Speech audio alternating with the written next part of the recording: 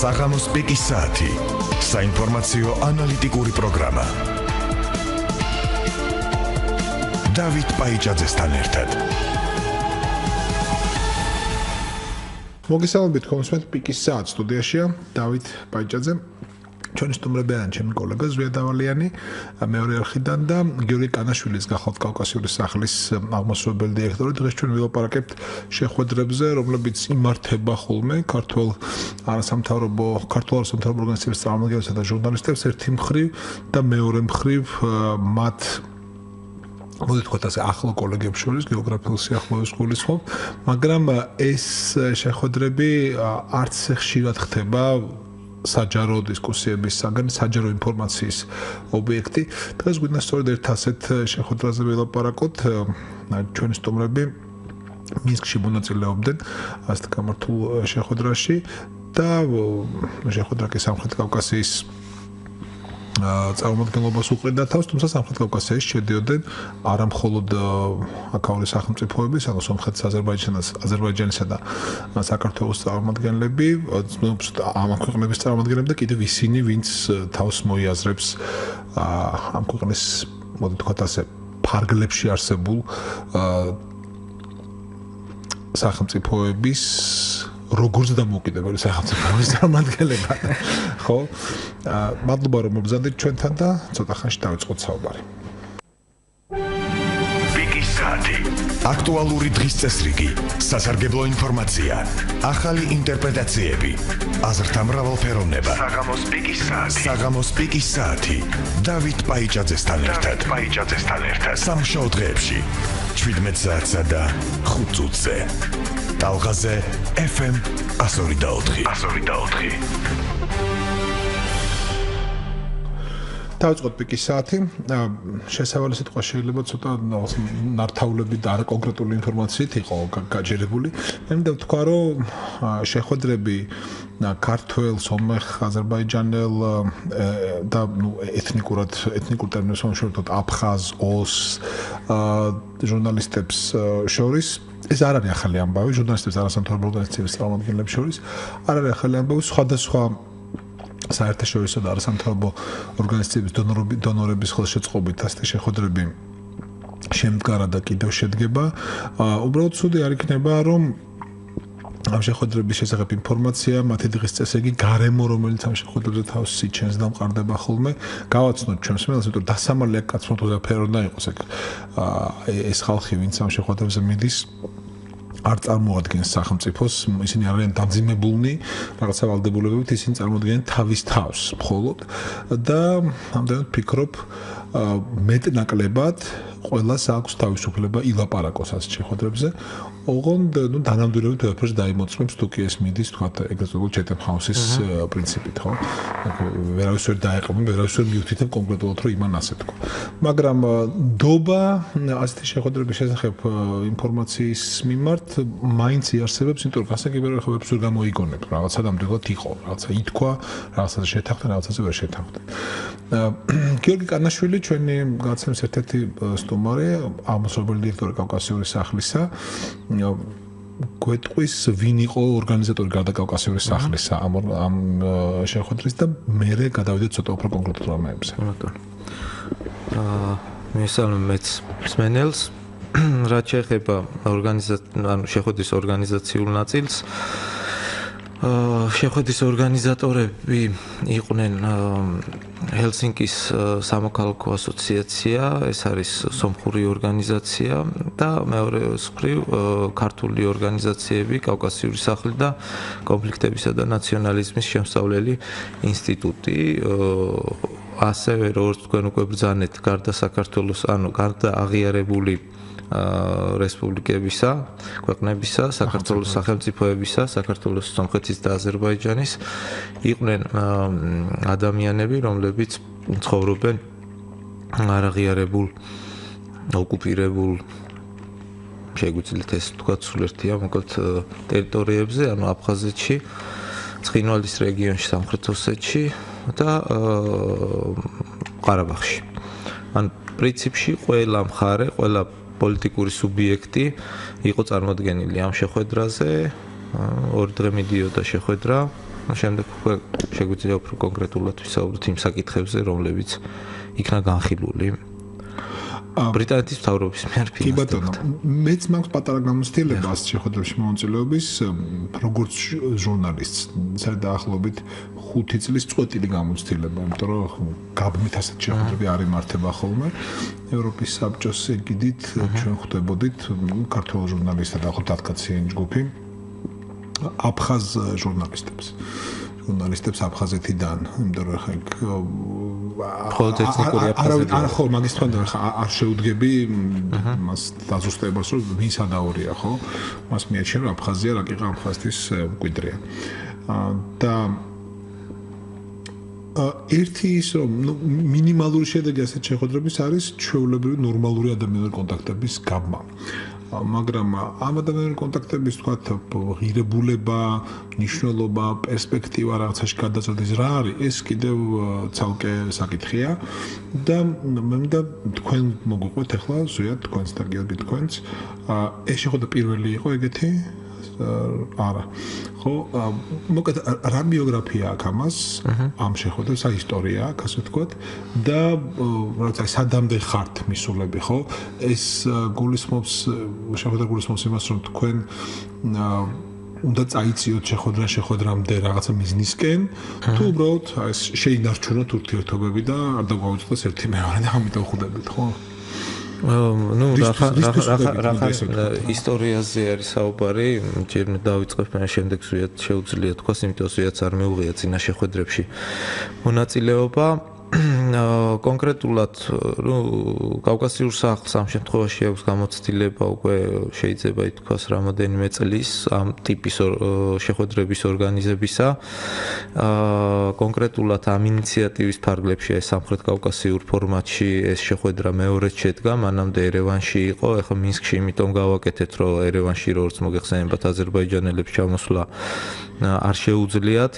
იქედან გამომდინარე, რომ ქონდა სურვილი, რომ ყველა სამხრეთ კავკასიელი ასე ვთქვათ, დასწრებოდა ამ შეხვედრას. მინსკი აღმოჩნდა ის ნეიტრალური ადგილი, სადაც მოხერხდა ამ ჯუფის შეკრება.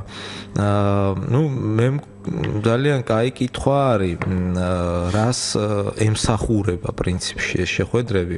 ნუ ჩემი აზრით, ძირითადად მაინც ემსახურება ა რაღაც კონტაქტების გაჩენას, ბ ექსპერტიზის გაჩენას, იმიტომ რომ ჩვენ უნდა ვიცოდეთ ან მე ახლა ქართველებზე საქართველოსზე ვსაუბრობ თუ რა ხდება ზოგადად რეგიონში ფლოვდეთ ინფორმაციას და პროფესიონალები ვინც ამ თემებზე მუშაობენ აშუქებენ და ასე შემდეგ. კარგია რომ მართლა ფლოვდენ პირველი ასე ვთქვათ პირებისგან პირდაპირ ინფორმაციას თუ რა ხდება ამ ტერიტორიებზე თუ სახელმწიფოებში. და თუ რაღაცა დობის მომენტებიც გაჩნდება ანუ მე ვფიქრობ აი თუნდაც იგივე ზვიაც მე გონია რომ გაუჩნდა რამოდენიმე დამატებითი კონტაქტი იმისათვის, რომ თუ რაღაც ინფორმაცია გავრცელდება, არ აქვს მნიშვნელობა რა სახის პრესაში, მას შეიძლება გადაამოწმოს ამ ინფორმაციის რეალურობა და რელევანტურობა, თქვათ იმ წყაროების საშუალებით, რომლებიც მას თქვათ ახლა ამ ეტაპზე თქვათ კონკრეტულად ზიაც გაუჩნდა. მე არ მაქვს ილუზია, რომ ამ ტიპის შეხვედრების ფარგლებში შეიძლება მოხდეს რაღაც გარღვევა და რაღაცების მიღწევა, იმიტომ რომ ეს არის სახელმწიფოების ფუნქცია, ან უпростоრად de facto თუ de jure ხელისუფლებების ფუნქცია შეიძლება უბრალოდ ამ ფორმატების ფარგლებში გარკვეული დოკუმენტებიც დაიწეროს, რომლებიც თქვათ სოციალ ანუ იძლევა საშუალება მისცემ საშუალებას თქვათ იგივე ხელისუფლების წარმომადგენლებს რომ რაღაც საკითხებზე დაფიქრდნენ და თუნდაც იგივე სახელმწიფო სტრატეგიაზე რაღაც სახით აისახოს. ამ შემთხვევაში თქვათ გულისხმობ ჩვენ ოკუპირებულ ტერიტორიებთან მიმართებაში პოლიტიკას. შეიძლება ჩემი აზრით ამგვარი შეხვედრების ფარგლებში რაღაც რაღაცები იკვეთება ხოლმე.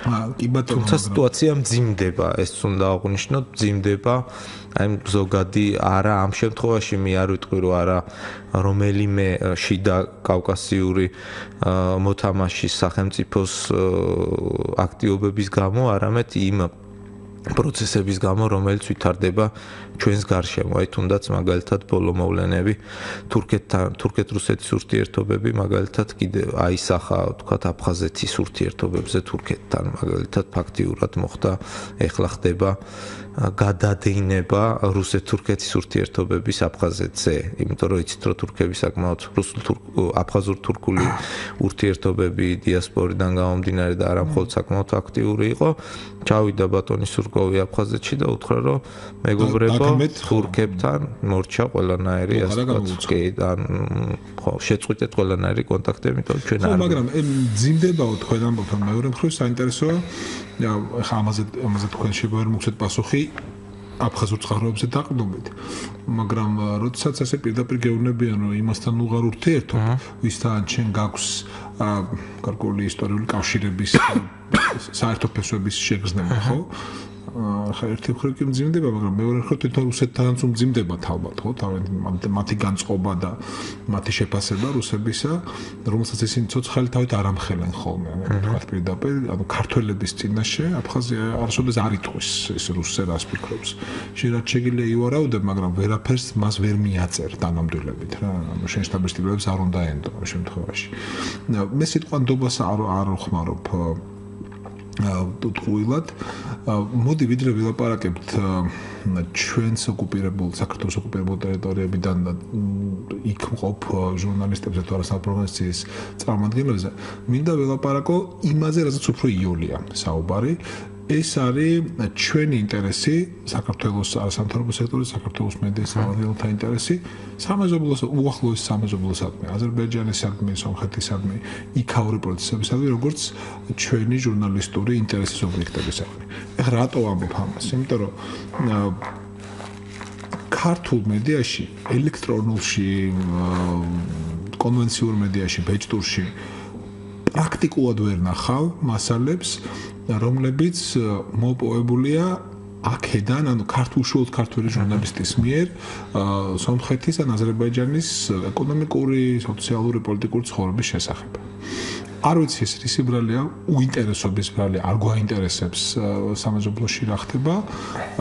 ენობრივი ბარერის ბრალია, უფულობის ბრალია, მაგრამ მინდა რომ ამ ამ პრობლემას შევეხოთ.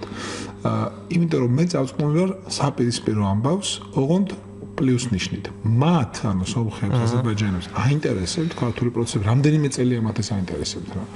და ადრეც აინტერესებთ მარტო რაღაც წინა ხელისუფლების მართლობას და რაღაც ეფორმის განხორციელებას არ უკავშირდებათ. მათ უფრო მეტად აქვთ პოლიტიკაში მეზობლობის მნიშვნელობის განცდა. ვიდრე ჩვენ. ხო, დაი მაგ ხრი რაღაცა ზურა თუ აუცი მონიშნეთ რა.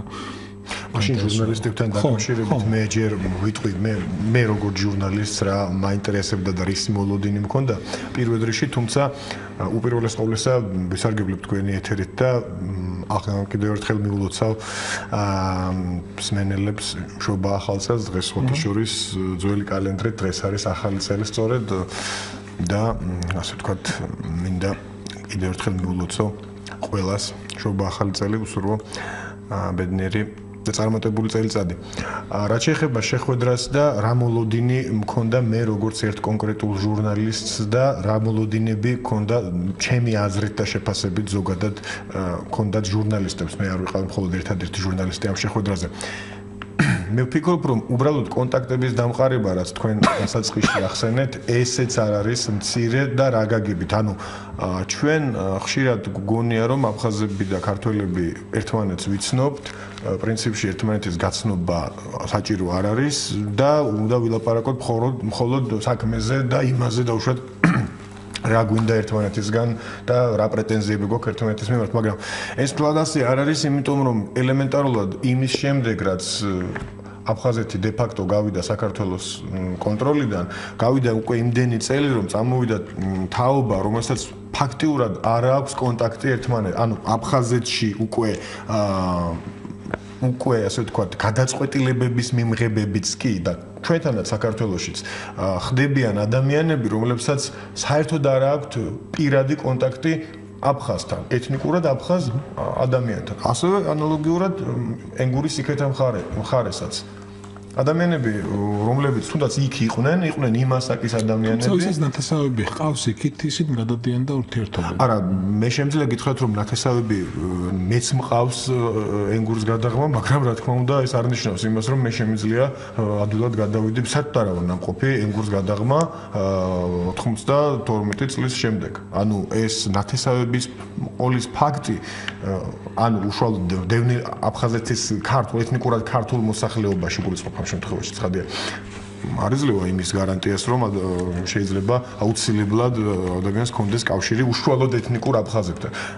მე მაგალითად შემიძლია პირდაპირ გითხრათ რომ ჩემთვის ეს იყო პირველი სერიოზული კონტაქტი ეთნიკურად ეთნიკურ აფხაზებთან. ზოგადად საერთოდ აა სერიოზულ კონტაქტში გულისხმობ საუბარს მეტნაკლებად პოზიციების გაცვლა გამოცვლას და ელემენტარულად გაცნობას და ზოგადი წარმოდგენის შექმნას იმის შესახებ თუ რა აწუხებს ამ ადამიანებს, რა საერთო პრობლემები გვაქვს, როგორ ვდგებით ამ საერთო პრობლემებს, ჩვენ ამაზე საუბრობდით სწორედ, აი ძალიან ისეთ ასე ვთქვათ. აი რა საერთო გვაქვს.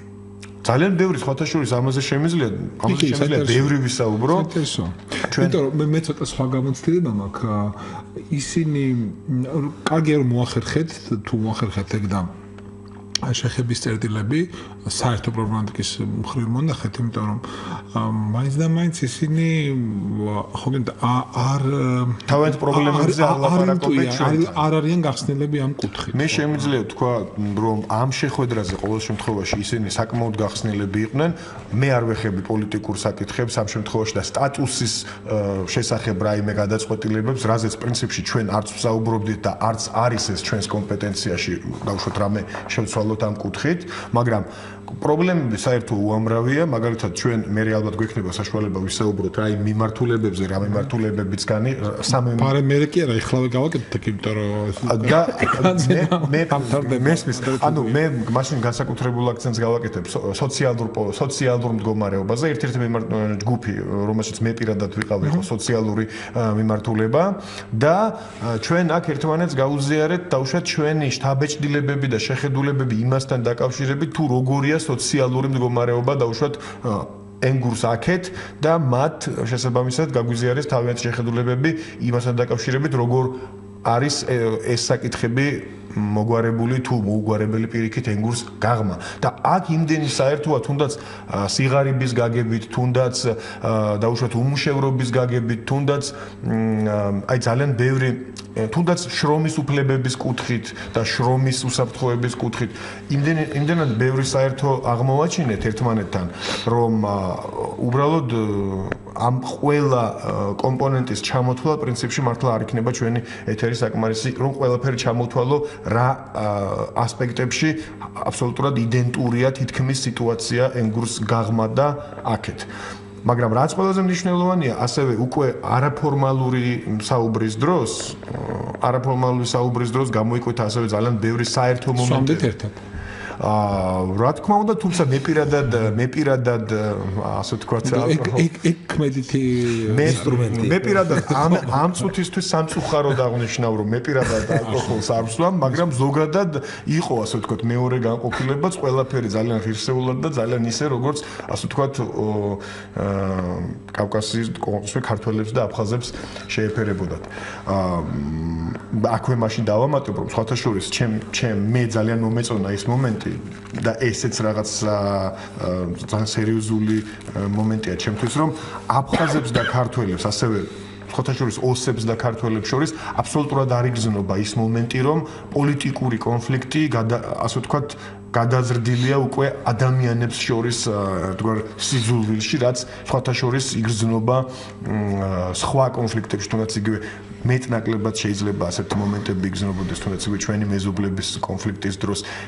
ესა თქო არა იქ ჩემ დაკვირვებითაც ურთიერთვერატანა ან თუმცაფრია გაცილებით გაცილებით აი ეს მომენტი საერთოდ არ არის. განსაკუთრებით აი სწორედ აი მეორე თუ შეიძლება ასე თქვა საარაოფიციალური რითი ხსნით პირადად მე ამას იმით ხსნი რომ ეს კონფლიქტები პრინციპში არის ძალიან ალბათ ზედაპირული და პოლიტიკური, სუფთა პოლიტიკური ხასიათის და კონკრეტულად ასე ვთქვათ ამ ეპოქისთვის მხოლოდ დამახასიათებელი. იმით ხო არა რომ ორივე მხარე კარგად იცნობიერებს რომ ისინი წამოაგეს ამ კონფლიქტებს, რა? საქმე ისაა რომ ხა ბუნებრივია იქ მოდი ისე ჩემ გამოსtildeებას მოვყვები.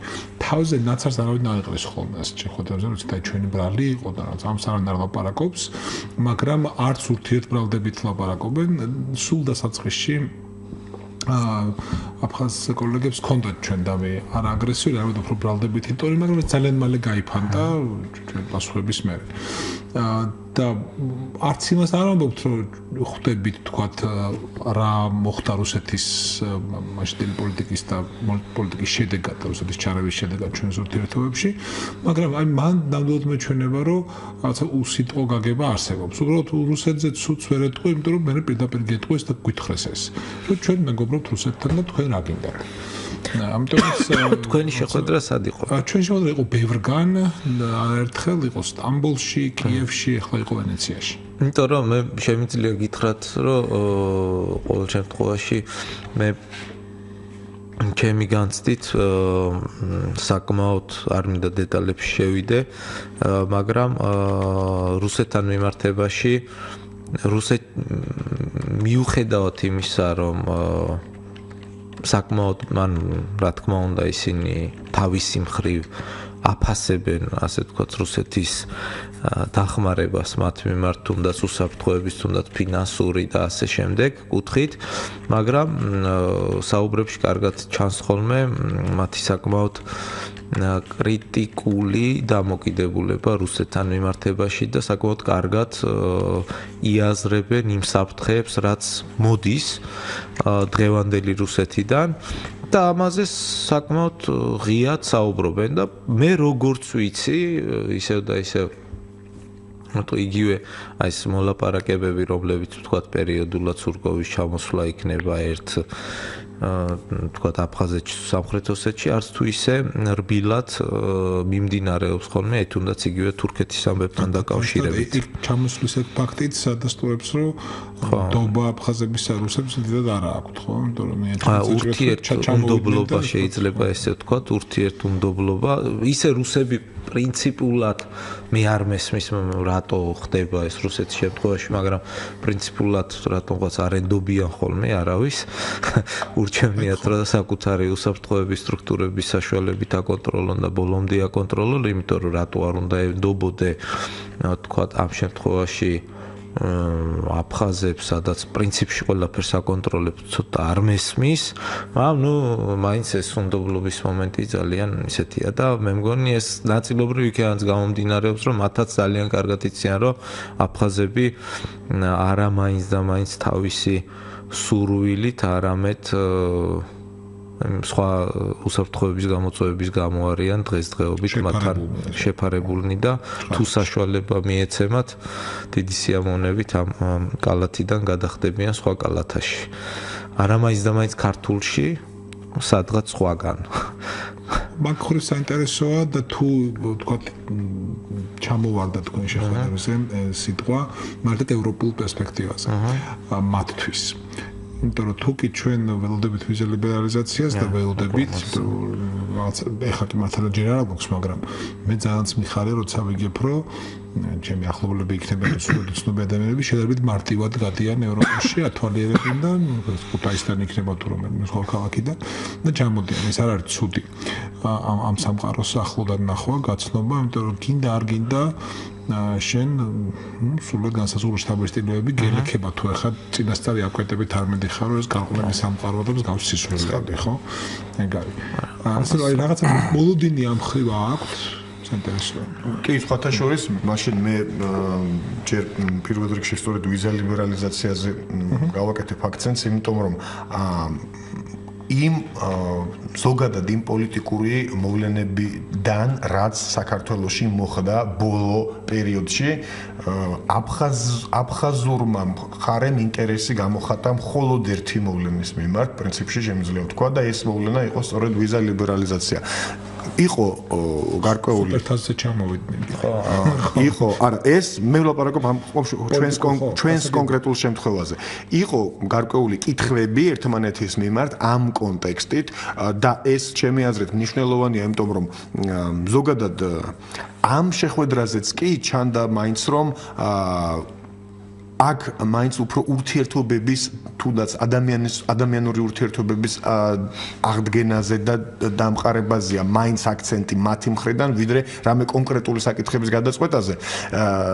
მაგრამ აი ეს კონკრეტული შემთხვევა ვიზა ლიბერალიზაცია იყო გამონაკლისი იყო ინტერესი გარკვეული ну ჩვენგანაც იყო გარკვეული განმარტებები როგორ რანაერად და აქ აუცილებლად უნდა გავიხსენო ის რომ საქართველოს ხელისუფლებამ პრინციპში ჯერ კიდევ ანგარიშის გამოქვეყნებამდე განაცხადა რომ ვიზა ლიბერალიზაციის სიკეთეებით ისარგებლებენ არა მხოლოდ ისინი ვინც ცხოვრობენ თბილისის მიერ კონტროლირებად ტერიტორიაზე არამედ ისინიც ვინც ცხოვრობენ აფხაზეთის და სამხრეთის ტერიტორიაზე ეს ეს იყო მათთვის საინტერესო.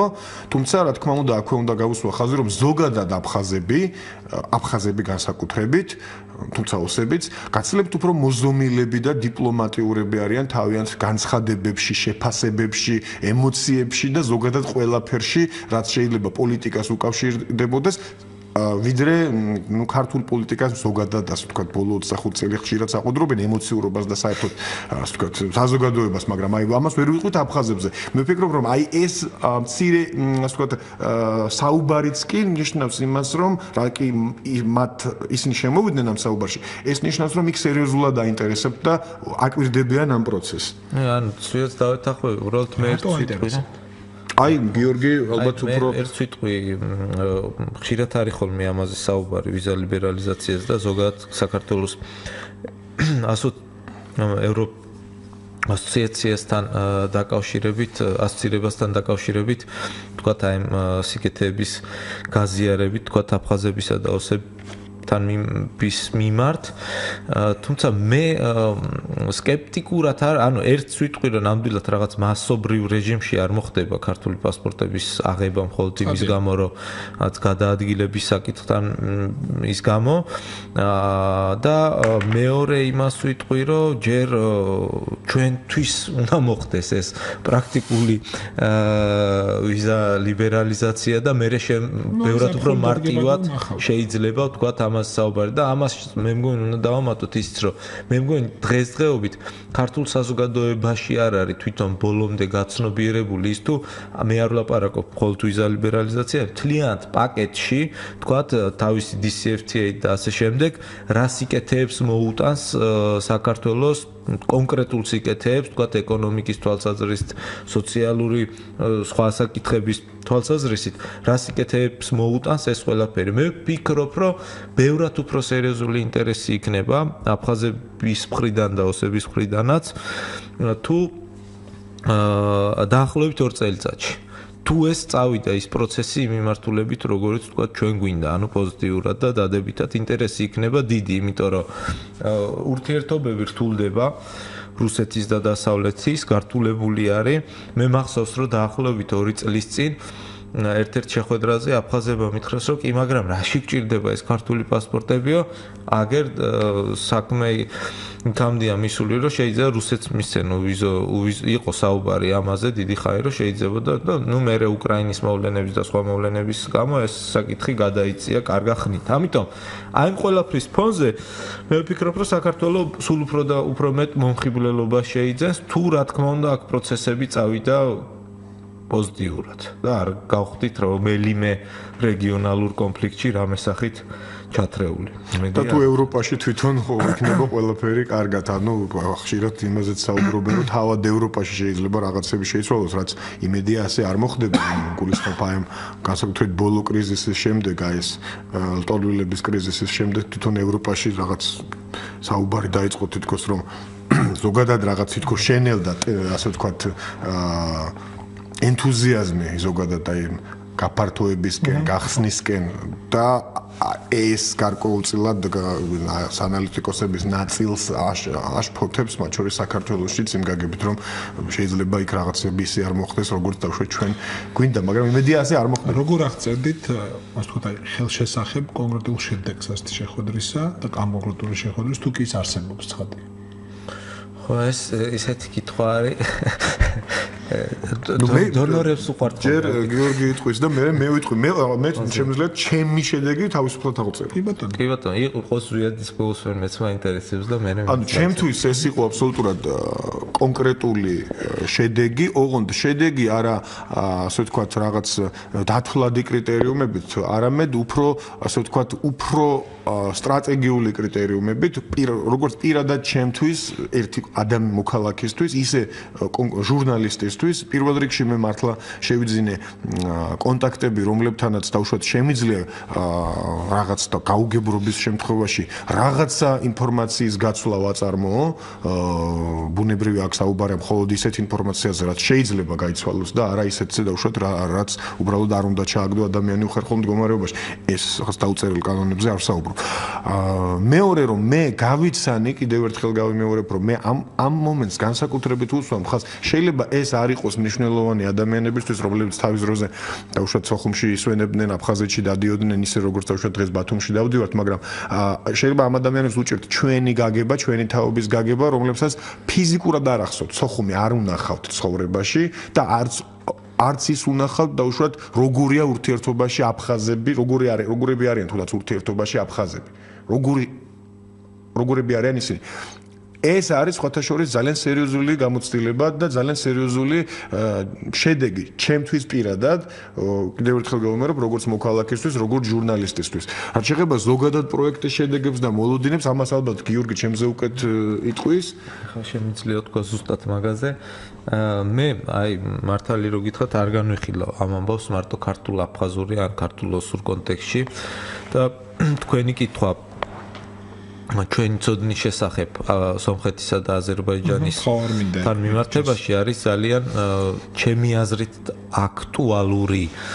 აი ეს არა მარტო სომხეთს და აზერბაიჯანს შეეხება სამწუხაროდ ჩვენ რატომღაც მარტო რუსეთ დასავლეთის დაპირისპირების კონტექსში ვცხოვრობთ და ამ ჩრდილოეთი თუ დასავლეთი აღმოსავლეთის კონტექსში უყურებთ. ყველაფერს, როდესაც მაგალითად ძალიან საინტერესო პროცესები არის ისე ჩვენთვის მნიშვნელოვან ქვეყანაში როგორიც არის თურქეთი როგორიც გახდება ეხლა აი ლოზანის შეთანხმების შემდეგ ირანი და სამწუხაროდ არ უყურებ და აი ამ ფორმატის საშუალებით მე ვფიქრობ და გაგრძელდება თითქმის დარწმუნებული ვარ რომ ეს ფორმატი გაგრძელდება.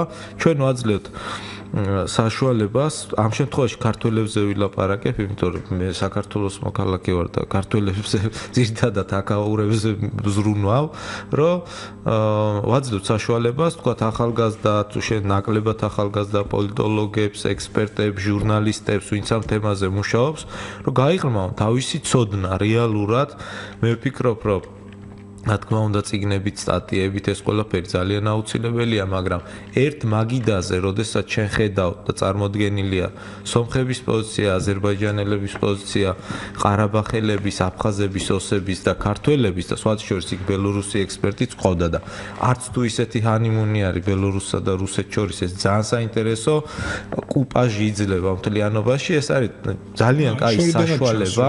ხო, მაგრამ იქ რომ იმას რომ მიუახლოვდები, მიხვდები რომ რაოდენ რთულად არის? ამ ულუაშებიან სტრატეგსა და მეორე კაც შორის ურთიერთობა და ანუ ფაქტიურად შედიხარ ოთახში და ორი დღის განმავლობაში თუ თქვა ამ თემებით ახარ დაინტერესებული იღებ ძალიან დიდ ინფორმაციას რომელიც აი ეს ადამიანები ვინც იღებენ მონაწილეობას არიან ადამიანები რომლებიც თქვა სახელმწიფო სტრუქტურებთანაც ახლოს არიან, ზოგადად საზოგადოებასთან ახლოს არიან და მე ამას რაღაც თვალსაზრისით განათლების კუთხითაც უდგები, რომ იმიტომ რომ განათლებული ადამიანები გჭირდება აი ამ სფეროში განსაკუთრებით. ერთი კითხვა რომელიც შეიძლება იყოს ცოტა როგორ ვთქვა, უხერხული საჩუთი რო არ ვიცი ამ მნიშვნელობა, მაგრამ მინდა დავსვა და ეს კითხვაც მოდის რაღაცა ჩემი შთაბეჭდილებიდან და ახმიდან აფხაზთან ურთიერთობისა. არ ხომ არ მოგჩვენებიათ რომ კულტურულად აი ამ ხნის გაუცხოება მონახაობამ ერთმანეთის ურთიერთობათ არ ქონა და ძალიან ფრაგმენტულმა ურთიერთობებმა. ერთი მხრივ და მეორე მხრივ ასე ვთქვათ ჩვენ ჩვენ გზაზე დგომამ ხო? ერთმანეთისგან დამოუკიდებლად ცხოვრებამ ცოტათი გავუცხო და დაგვაშორა. გაუცხოება ეს ერთია, მაგრამ გრძნობ რომ შეიძლება იყო გაუცხოებული, მაგრამ იგრძნო კულტურული солиდარობა მასთან, ბევრი საერთო ღირებულებითი მიდგომა, რაღაცა მენტალური დამთხოვება, ცხოვრების წესში, შეხედულებებში, აღქმებში, ღირებულებებში. და შეიძლება იგზო სულად საპირისპირო სურათიც. დაშორება ნაპრალის გადიდება. ერთი ერთ რაღაცას აღნიშნავ, კონკრეტულად აფხაზებთან ერთ ერთ რაღაცას აღნიშნავ, აი სწორედ აი მე დავიწყე იმაზე საუბარი, რამდენი რამ გვაქვს საერთო და მე უბრალოდ ვეღარ გავაგრძელე ეს თემა და ეხლა ვიტყვი სწორედ ამას. ანუ ორივე მომენტი არის ჩემი დაკვირვებით. მე ყოველ შემთხვევაში ორივე მომენტი მქონდა. ერთი რომ ნამდვილად არის გარკვეული დაშორება, თუნდაც მხოლოდ იმიტომ, რომ აფხაზეთის, ასე ვთქვათ, კონფლიქტის უпростоრად სოხუმის დაცემის შემდეგ საქართველოს და საქართველოს იმ ნაწილმა, რომელშიც ჩვენ ცხოვრობთ, ცხოვრება გააგრძელა სხვა იდეალებით, სხვა თუნდაც საგარეო პოლიტიკური ორიენტაციით და სხვა მიზნებით და სოხუმმა დაიწყო ცხოვრება აბსოლუტურად სხვა ორიენტირებით, ამიტომ თუნდაც მხოლოდ ამის გამო გარკვეული დაშორება არის და ეს აისახება თუნდაც მართლაც აი თუნდაც აი ელემენტარულ დონეებზე მაგრამ ეს მაინც ჩემი აზრით არის გაცილებით უფრო ზედაპირული, ეს არის მხოლოდ ბოლოს და ბოლოს 20 წლიანი გამოცდილება და 20 წლიან გამოცდილებას არ შეუძლია გადაფაროს ის 1000 წლოვანი თანაცხოვრებიდან, ასე ვთქვათ, შეძენილი საერთო თვისებები, რაც უფრო უფრო გაცილებით დიდი და შთამბეჭდავია. აი ეს არის საერთო მენტალობის მომენტები, რომელიც აი შეუიარაღებელი თვალითაც ჩანს ახლა ელემენტარულად შეგვიძლია ძალიან ელემენტარულ მაგალითებზეც კი ვილაპარაკოთ, რამდენად საერთოა ჩვენი მენტალობა ზოგადად. არის ეს გაუცხოების მომენტებიც, გიორგიც? შეიძლება ალბათ ამ საკითხზე მოვსწრებ. მე რაღაც თვალსაზრისით პრივილეგია მაქვს იმ კუთხით, რომ ხშირად რამოდენიმეჯერ ამ წლის განმავლობაში, ამ წლის არა, ამ ბოლო წლების განმავლობაში მომიწია ჩრდილოეთ კავკასიაში ყოფნა. აა ხშირად მიწევს ყოფნა სომხეთში, აზერბაიჯანშიც, რუსეთშიც წელიწადში ერთხელ შეიძლება ორჯერ მიწევს ხოლმე ყოფნა და აფხაზებს სხვა კარგ ქვეყნებში არ დადიხართ ხოლმე. არა, იქ ქეთაც დავდივარ, ანუ დასავლეთშიც ხვდები, მაგრამ აი ჩვენ ასე ვთქვათ სამეზობლოზე თუ ვიტყვით და აქედან გამომდინარე შემიძლია მეტნაკლებად, რა თქმა უნდა, ეს სუბიექტური არის ეს დაკვირვებები, მაგრამ პლუს მიუხედავად იმისა, რომ ეს რაღაც დაშორება, რა თქმა უნდა, ბუნებრივად უნდა მომხდარიყო და ხდება 20 წლის განმავლობაში, მე შემიძლია თქვა, რომ აი ეს თელ პლას თუ ავიღებ თელ კავკასიას, ღიაობის თვალსაზრისით მე ვფიქრობ, რომ ქართველები, სომხები, ოსები და აფხაზები ალბათ ყველაზე მაინც უფრო ყველაზე ღია საზოგადოებები არის, მიუხედავად მათი პოლიტიკური ორიენტირება. აფხაზები ღია საზოგადოებები? ღია საზოგადოებები თუ შევადარებთ მაგალითად ჩილო კავკასიის სხვა ერებს, ღიაობის კრიტერიუმი რა არის? ღიაობის ნიშანი რა არის? თქვათ, აი შეგვიძლია დავიწყოთ თქვათ პირადი თავისუფლების კრიტერიუმი საზოგადოებაში ქცევის კრიტერიუმები ყველას აი ბევრად უფრო შეიძლება შეიძლება ახლა ბევრს გაეცინოს მაგრამ ახლა ბევრად უფრო ინდივიდუალისტური არის ეს საზოგადოებები ბევრად უფრო კონკრეტულ ადამიანს შეუძლია რაღაც რაღაცეები თქვას რომ აი მე ესე მინდა და ესე მოიქცევი, ვიდრე მაგალითად არც თუნდაც დაღესტანში იქნება ეს ჩეჩნეთში, ინგუშეთში, ყაბარდო-ბალყარეთში თუ სხვა ქვეყნებში. ანუ ჩრდილოეთ კავკასიასთან მიმართებაში, ანუ აფხაზი მიუხედავთ იმისა, რომ თქვათ დადის ვიღაცა დადის და ხედავს თქვათ რუსეთს, მიუხედავად ამისა, ასე თქვათ იმედიეტკერ და უშუალო მეზობელი ხავს ზემოთ ჩრდილოეთ კავკასიელი და აქეთ აღმოსავლეთით ქართველი. და ამ ორ შორის, როდესაც ის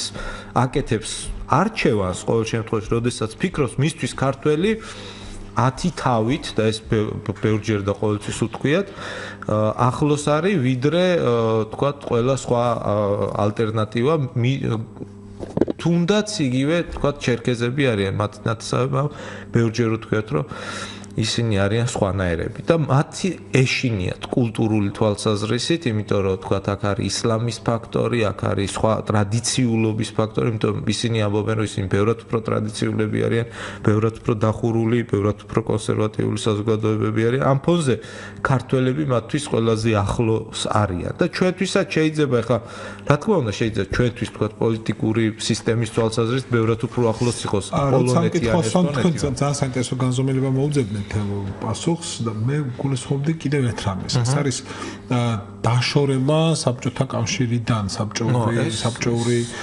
ქცევითი მოდელებისგან, საბჭოური ახმებისგან, საბჭოური ღირებულებებისგან თუ სოციალური ურთიერთობების წესებისგან. ამას მე მესმის ძნელია ჩვენ ამაზე ვილაპარაკოთ, იმიტომ რომ არა ვართ არც ერთი იმთავის მე კი ხა ჯეჯები ჩემ ცხოვრების ნახევარი ვიცხოვრე საბჭოთა კავშირში, მაგრამ ის ნახევარი არ გწნობიერი ცხოვრება მთლიანად, ხო? ამიტომ ხშირად უბრუნდები ხოლმე რაღაცებს კითხულობ, რომ კარგად გავიგო ის რა იყო. თუმცა საბჭოთა ჯარში მიმსახურე და გარკვეული წარმოდგენა მაქვს. და გრძნობ აი რა ადგილი რამდენად შეიძლება იყოს დაშორებული ამისაკენ. შეიძლება ეს საბჭოიზმი ისე იყოს კულტურაში საზოგადოებაში გამჯდარი რომ და მაინც ამას თვითონაც არ იცნობიერებდნენ და გარედან მაყურებლებელი თვალისთვის უფრო თვალსაჩინო და საგრძნობი გახდეს. ამას გულისხმობდი ზუსტად. აი ამაზეც შეიძლება ერთი რაღაც ერთი წამი საბჭოთან დაკავშირებით ჩემი აზრით ელიტას რაც შეეხება ელიტას, ქართული პოლიტიკური საზოგადოებრივი ელიტა, ჩემი აზრით საბჭოურს ბევრად უფრო დაშორდებული არის, ვიდრე თქვა აფხაზური, აღარაფერს არ ლაპარაკობ ამ სამხრეთოსური და მე მგონი იქვე არის, მაგრამ ზოგადად ფართო მოსახლეობის ფართო მასებთან დაკავშირებით მე გარკვეული скеპტიციზმი საქართველოსთან მიმართებაშიც მაქვს სამწუხაროდ. შეეთ მე დავეთანხმებოდი გიორგის იმაში, რომ ახლა დავუშვათ ჩვენს თვითონ ანუ დიდ სერიოზულ განსხვავებას, მაგალითად მე საქართველოსა და აფხაზეთს შემთხვევაში აფხაზეთში გულისხმობ, ანუ არ აღიარებულ აფხაზეთში რაც იგულისხმება.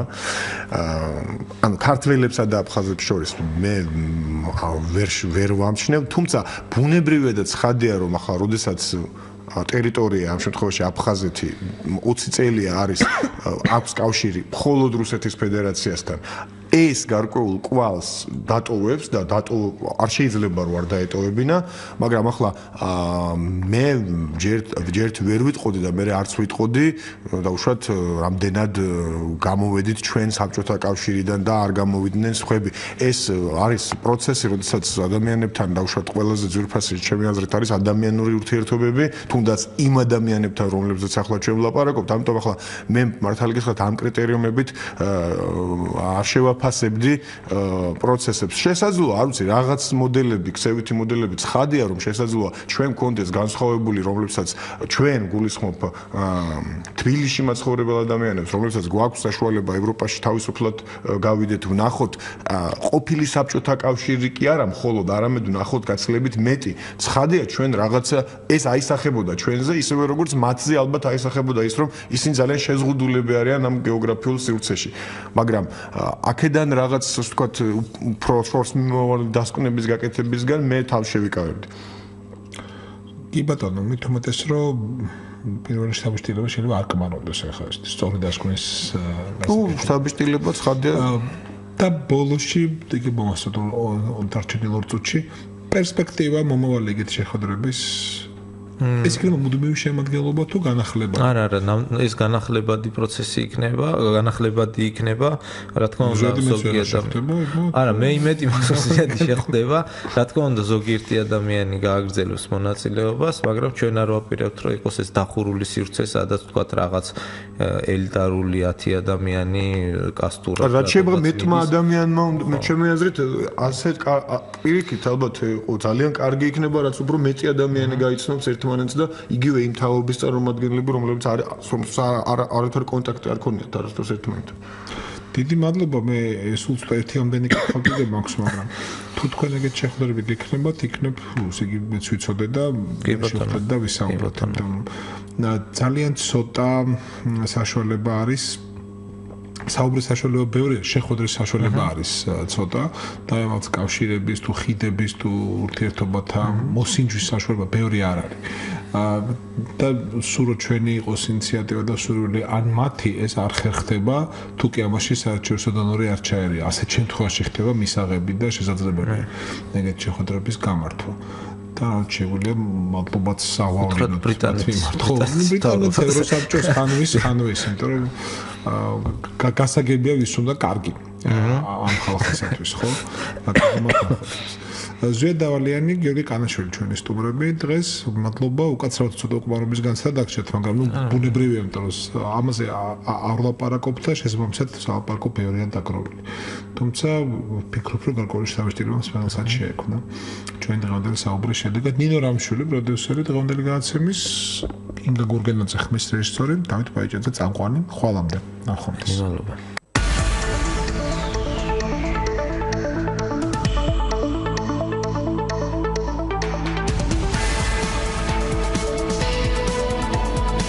საღამოს პიკის საათი. საინფორმაციო ანალიტიკური პროგრამა. დავით პაიჭაძესთან ერთად